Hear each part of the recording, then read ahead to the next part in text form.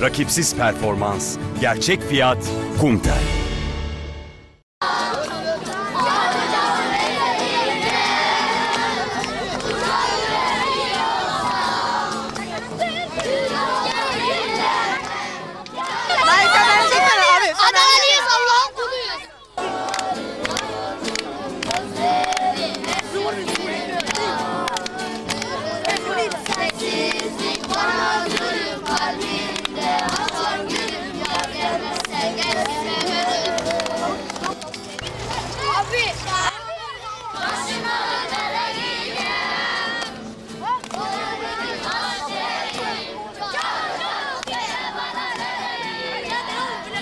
Gitar, saz ve tefte Çevik Kuvvet polisleri, vokalde ise Adanalı çocuklar. Burası Adana'nın Dağlıoğlu mahallesindeki eylemlerin adresi olarak bilinen Karasu Kavşağı.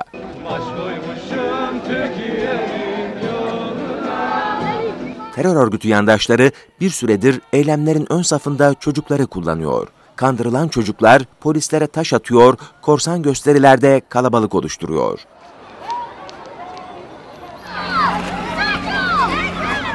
Ancak polis terör örgütünün bu çirkin oyununu son zamanlarda farklı diyalog projeleriyle başarılı bir şekilde bozuyor.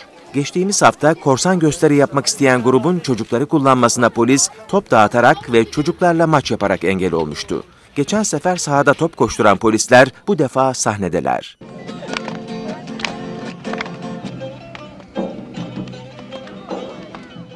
Kendilerine Grup Çevik Orkestrası adını veren 3 Çevik Kuvvet Polisi, gitar, saz ve tefle sokak arasında mini bir konser verince bütün çocuklar bir anda polislerin etrafını sardı.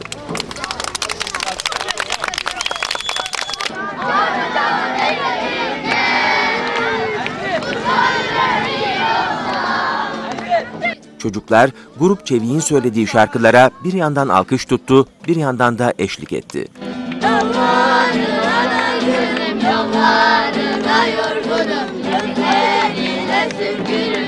Mini konserde doyasıya eğlenen çocuklar polis abilerinin geniş repertuarından istek bile yaptı.